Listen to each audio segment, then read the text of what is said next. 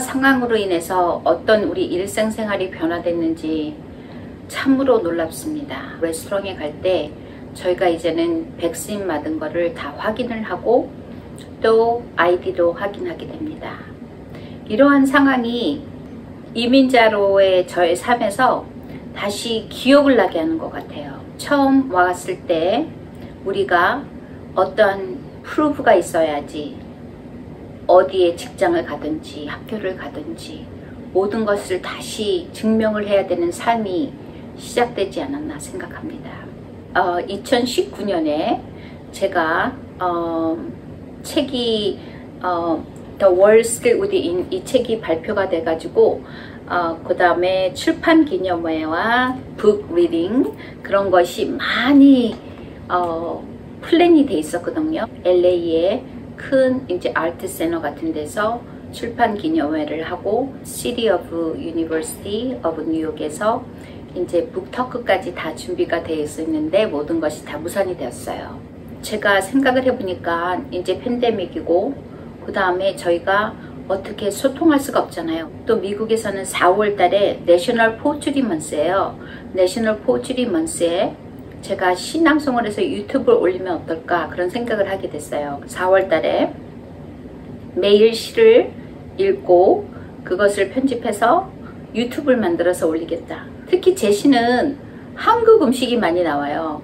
음식, 한국 음식도 하면서 신앙송을 하면서 어, 그것이 문화를 알리는 그런 역할이 된 것 같아요.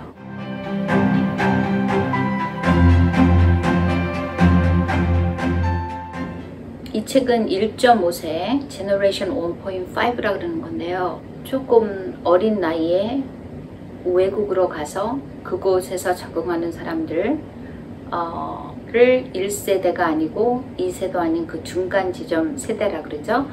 미국 사람도 한국 사람도 아닌 저만의 그 어떠한 세계가 있는 것 같아요. 그래서 저의 삶과 저의 경험이 문학 속에서 녹여져 나오는 것은 어, 굉장히 당연한 일이라고 생각됩니다.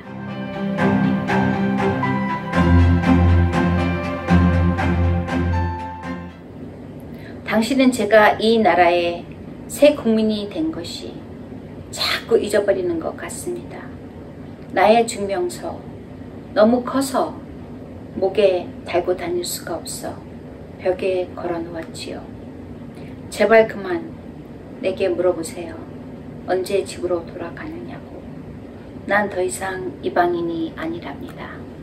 제가 아이들을 낳아서 그 아이들은 당연히 미국에서 태어난 미국이 자기 어, 집임에도 불구하고 그 아이들까지 계속 그런 질문을 묻게 되죠. 이런 것을 시를 낭송을 함으로써 타인에게 우리의 마음을 전달해 주는 것도 중요하다는 생각을 했습니다.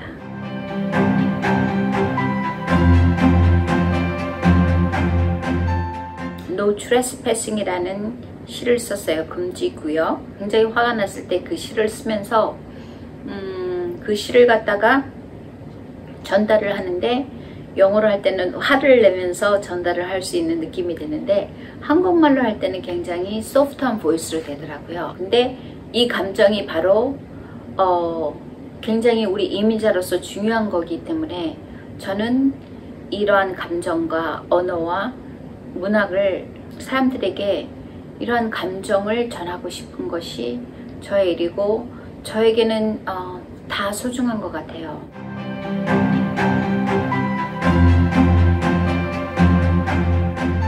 테레사 차학경이 쓰신 어, 딕트인데 이거는 받아쓰기라는 말이죠. 어, 김경영 선생님께서 이렇게 한국말로 번역을 해주시는데요.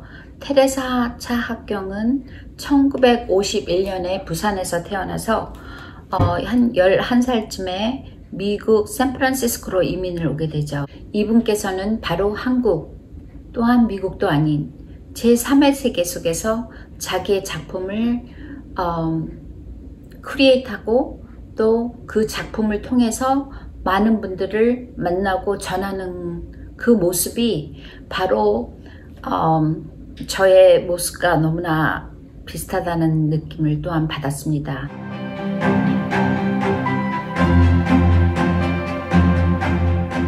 소나기라는 작품입니다. 그 작품은 어떠한 환경 속에서도 우리의 순수한 마음과 그 다음에 감정 그런 것을 다 담아있는 아주 아름다운 작품인 것 같아요. 진은영 씨라는 시인이신데요. 스쳐 지나가는 것 그것을 아주 가장 깊게 또한 아주 세밀하게 다가가고 그 다음에 아픈 상처를 이렇게 보듬어주는 어떠한 신비한 매력이 그 시 속에 있는 것 같습니다. 그래서 왠지 만나서 같이 이야기를 하고 시를 서로 교류하고 그런 마음이 들고 싶은 시인이 바로 진은영 시인 훔쳐가는 노래라는 그 시도 너무나 제 마음에 와닿습니다.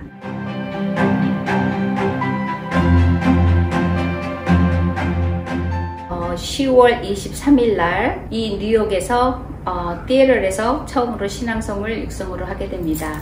이렇게 서로 함께 모여서 연극과 그림과 또한 어떤 필링과 같이 어우러지는 그러한 문학의 공간을 함께 소유하는 그런 일을 함께 하고 싶습니다.